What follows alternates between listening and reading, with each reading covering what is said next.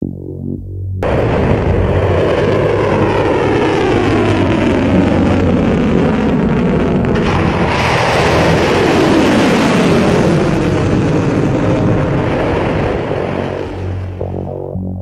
Pertahanan Israel atau IDF menunjukkan bukti keberhasilan mereka menangkal rudal dan drone kiriman Iran.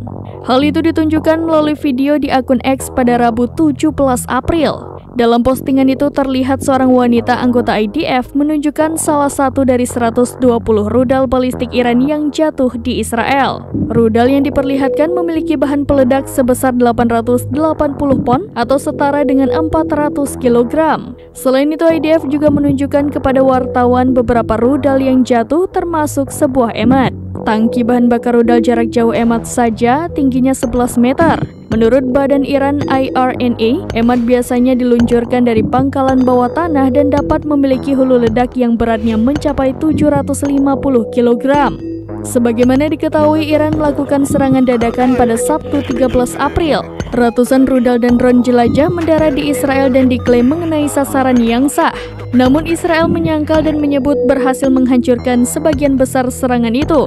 Serangan mematikan Iran disebut meniru strategi yang digunakan Rusia untuk menyerang Ukraina.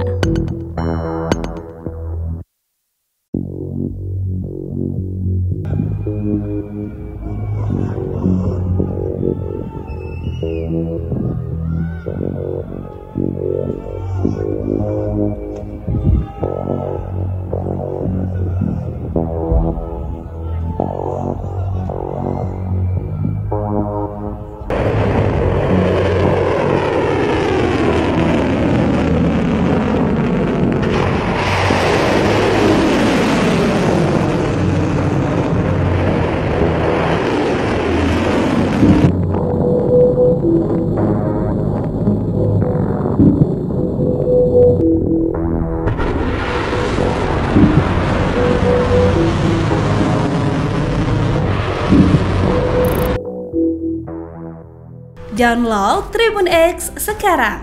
Menghadirkan lokal menjadi Indonesia.